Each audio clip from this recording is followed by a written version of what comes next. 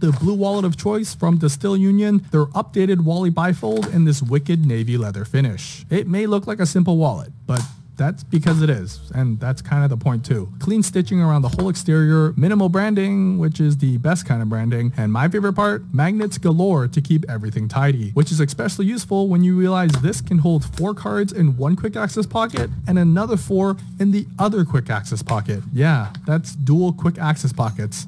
Bang bang. Of course, you've got the magnetic closure to keep things tightly in place in my scientific shake tests, but the best part, pull, spread, pay, wabam. Plus, in case you missed it, auto magically retracting pull tabs for all your fidgeting needs. The party ain't over yet. Open that sucker for two extra card slots for your secret Zumba membership card. Still just as easy to access. And of course, Cash is king with their money clip capable of holding over 30 bills. But honestly, if you're carrying that much cash, it's time to rethink your priorities. Thanks to the soft and supple leather though, this whole wallet, even packed with over 8 cards and cash, stays fairly slim. And nothing is flip-flopping around thanks to the excessive amount of magnets. Now for that last slot though, I've got it saved for a special card, the Wallet Ninja. So with everything packed in, the cash clip, two interior hidden pockets, and quick access bonanza for the rest of it, you won't find a more capable and more blue leather wallet elsewhere.